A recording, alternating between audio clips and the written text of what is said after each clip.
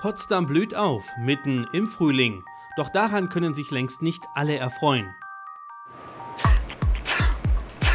Ines Nobis muss in diesen Tagen ständig niesen. Ihre Nase ist verstopft und ihre Augen tränen. Der Verdacht einer Allergie liegt nah.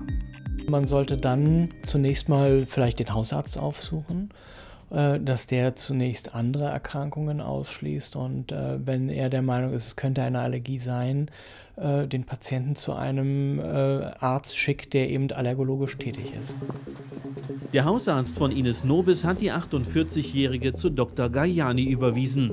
Der Facharzt für Hals-, Nasen- und Ohrenheilkunde führt erst einmal ein kurzes Gespräch, um mehr über die Symptome zu erfahren. Denn es gibt relativ eindeutige Anzeichen für eine Allergie.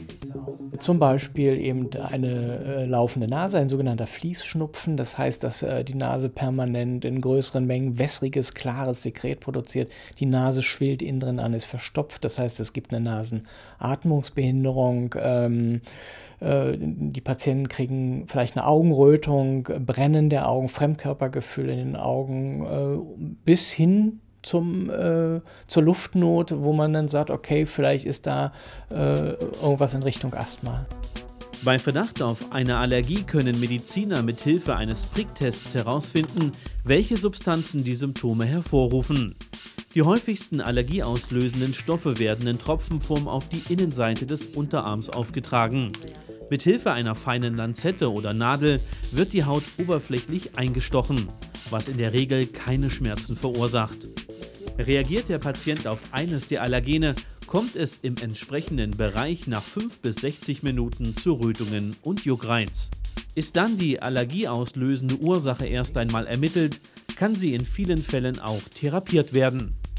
Die Heilungschancen sind, äh, was gängige Allergene mh, anbetrifft, also zum Beispiel Frühblüherallergien, ähm, Gräserpollenallergien, äh, Getreideallergien, Hausstaubmilben, äh, Wespen, Bienengiftallergien, gut therapierbar.